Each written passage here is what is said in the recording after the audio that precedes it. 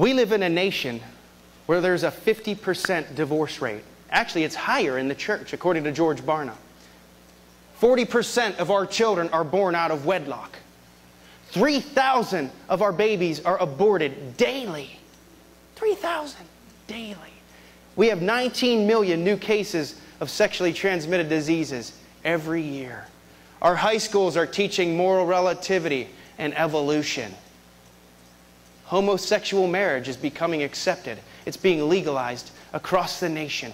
This land needs revival. I said, This land needs revival. But guess what God said? He said, If my people, did you hear that? If my people who are called by my name would humble themselves, seek my face, pray, turn from their wicked ways, then will I hear from heaven. But only then will He hear from heaven and forgive our sins and heal our land. If we want our land healed, there's some stuff we have to do as the people called by His name. If we want our land revived, there's something we have to do to be revived first. It starts in the church. Judgment starts in the house of the Lord. Revival starts in the house of the Lord. What is revival? I'm going to tell you what Charles Finney said. Who has heard of Charles Finney? A great revivalist. So I, you know, if I wanted to learn how to make money, I would go to somebody who's a millionaire. Doesn't that make sense? So I'm going to ask Charles Finney what revival is, and here's what he says. Revival is a renewed conviction of sin and repentance, followed by an intense desire to live in obedience to God. For those of you who are here in the church, I believe I put that in your bulletin. It's just a great quote. Revival is a renewed conviction of sin and repentance, followed by an intense desire to live in obedience to God. So, three important things conviction, desire, and obedience. Revival isn't just going to fall from the sky. A lot of people just waiting around. Oh, I'm not doing much, but it's going to happen to me. No, there's something the church has to do. Number one, we have to ask for revival. Zechariah 10:1 says, Ask of the Lord rain in the time of the latter rain. Are you asking? Isaiah 62 7 says, Give him no rest, no rest until he establishes us and makes us a praise in the earth. Are you giving him rest? Don't. Don't give him any rest. Keep asking and pleading for the end time revival, and it will come. It will come. Okay, so we have to ask. Secondarily, we have to prepare.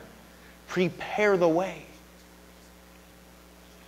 I heard this said once. We cannot organize revival, but we can set our sails to catch the next wind from heaven. That's why I've entitled this message, Set Your Sails. We have to learn how to set our sails. And I believe a great biblical account of setting their sails for revival was in Nehemiah chapter 8. So let's turn there, Nehemiah chapter 8.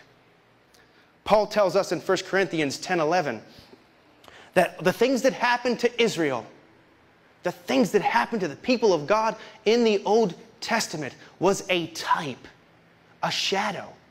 And it was written down for our admonition, upon whom the ends of the ages have come. So we should expect that the things that happen to them should happen to the church more comprehensively and in a spiritual manner. So let's look at Nehemiah 8.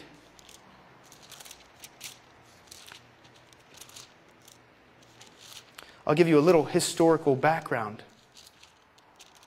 of Nehemiah 8. Israel was disobedient. Therefore, after disobedience and disobedience and disobedience, God finally said, That's enough. You're going into captivity into Babylon. So the Babylonians came. They besieged Jerusalem. They destroyed the temple. They ravaged the city. They took the people to Babylon for 70 years.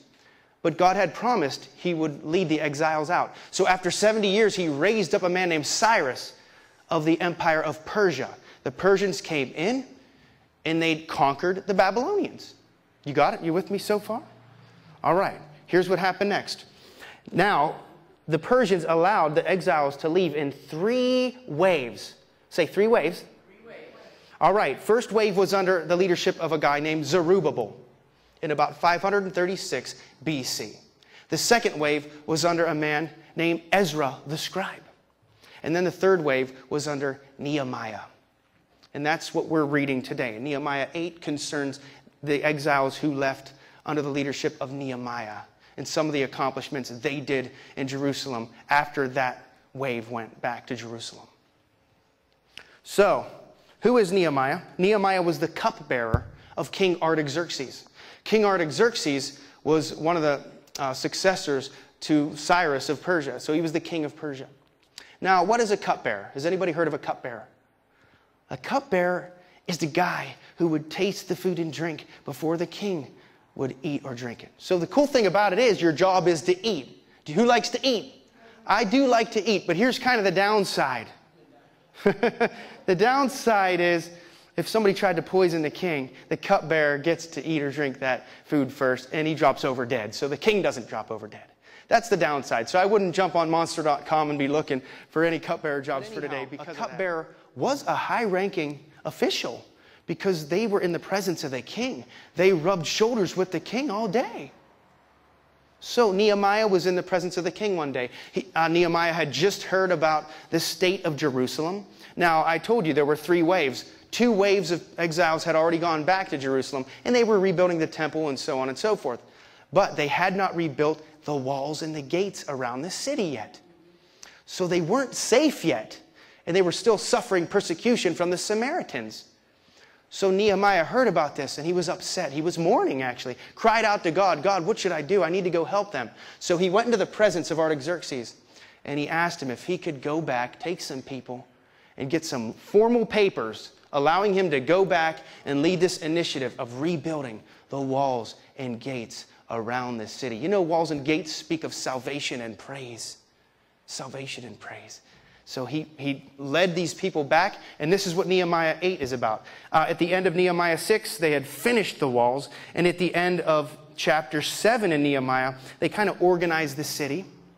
You know, the civil, they take the population, they register the people, and kind of set everything up in a civil manner. But Nehemiah 8 is where they have to take care of the spiritual climate of the city. They need to bring revival, they need to catch that next wave from God so they set their sails. So look, let's look at verse 1 here in Nehemiah 8. And all the people gathered themselves together as one man into the street that was before the water gate. And they spake unto Ezra the scribe to bring the book of the law of Moses, which the Lord had commanded to Israel. First thing I want to tell you was right about this was the leadership was right.